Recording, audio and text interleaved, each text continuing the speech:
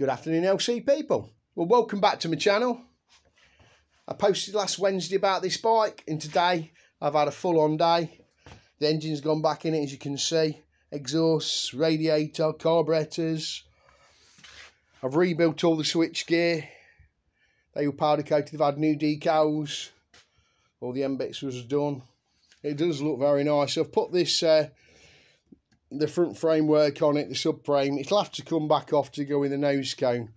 But I just wanted it all up and on to make sure all the electrics were still good to go, which they are. Battery's a bit down, but um, all Dave's waiting for is the paintwork now. Uh, the plan, I always have this same plan, as I've probably explained before. Bike comes in, it gets stripped, powder coated stuff goes away. If the engine wants doing that goes away, paintwork goes away. Well, that goes away first because that's the longest thing really.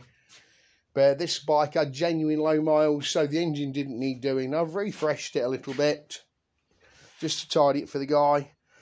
It wasn't a shape only, this bike. It wasn't supposed to be, but it's not far off. You know, I could have done a lot more things for the powder coaters, I suppose. But uh, the amount of things I've took to the powder coaters has actually uh, really freshened the bike up the guy that owns this will be very pleased. I'm very pleased with it. But, uh, yeah. Not long finished messing about with the carburetors on it. It's on running on life support like I normally have it. And here we go.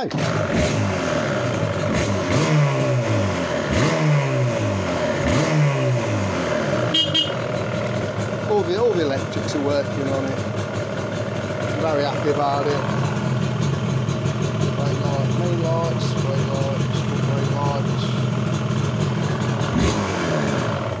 But yeah, she's good.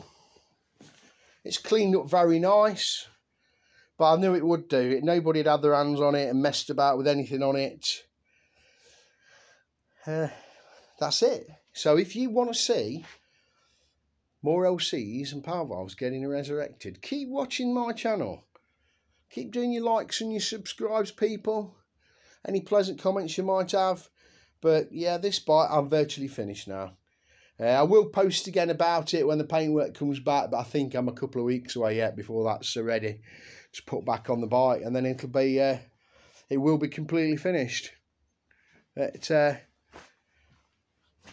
it's a lot fresher and a lot nicer looking bike than the bike that rolled in here about four or five weeks back.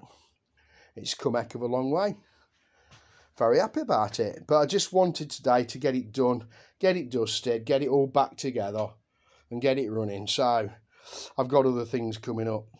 But keep watching and you'll see more bikes getting resurrected or fixed. Thanks for watching. Dilly dilly.